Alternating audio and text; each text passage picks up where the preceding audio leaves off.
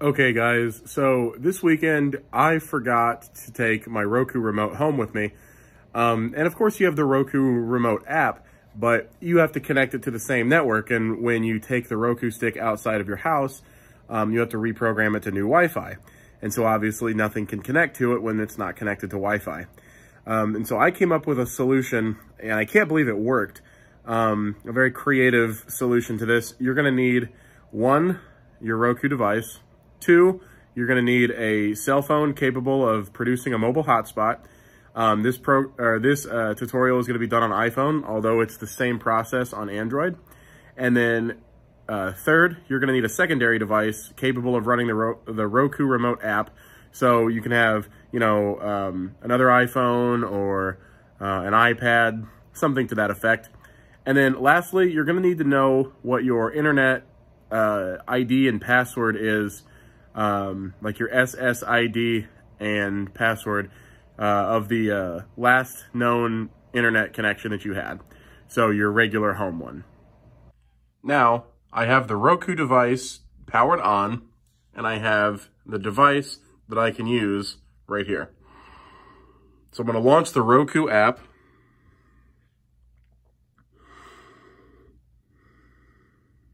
Obviously, it is connected to my regular Wi-Fi, and the Roku is not connected either. So we want to enable the hotspot on our phone.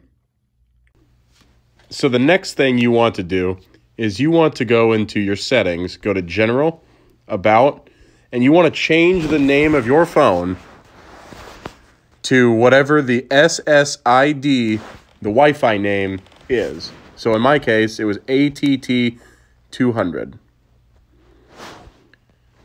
Now, you want to go to your personal hotspot settings and you want to change your password to your internet's password.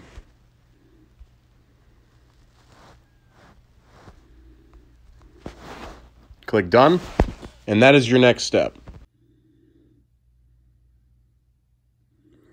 Okay, so we have now connected this phone the uh, remote device to our phone's hotspot, which is ATT200, which is my last internet connection that I use with my Roku.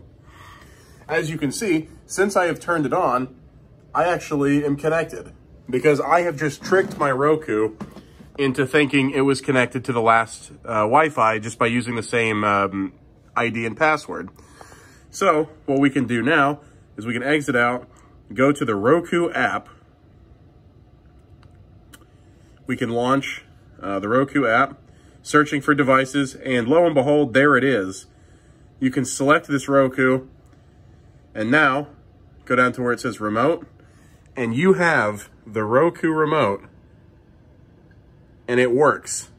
So now you can use your, your remote device here to go down to settings, and you can change your network back to what you need to have it as